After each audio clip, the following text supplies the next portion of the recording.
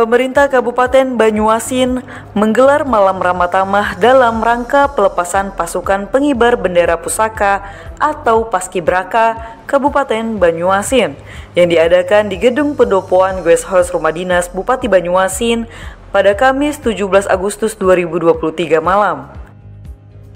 Bupati Eskolani menyampaikan ucapan terima kasih dan apresiasi yang setinggi-tingginya kepada semua unsur terkait yang telah memberikan andil dan dukungannya sehingga pelaksanaan peringatan HUT Republik Indonesia ke-78 dapat dilaksanakan dengan sukses.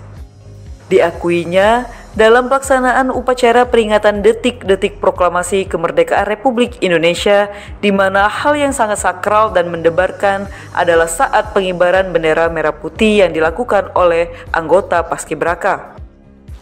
Ditambahkan Bupati Haji Askolani bahwa bentuk perhatian dari pemerintah Kabupaten Banyuasin yaitu mengadakan study tour ke Jakarta dan sekitarnya sebagai bentuk apresiasi dari pemerintah Kabupaten Banyuasin dari pasukan Paskibraka Kabupaten Banyuasin tahun 2023. Kegiatannya luar biasa.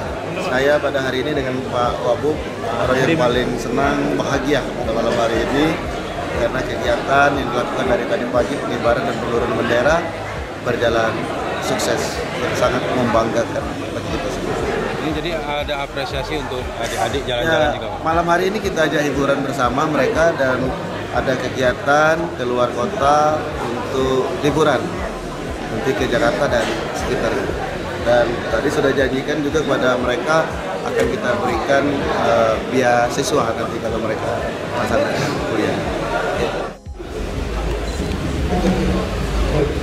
Baik Bapak Ibu hadirin yang berbahagia, pemberian pelatih pelatih PPI, Kasih dan Pembina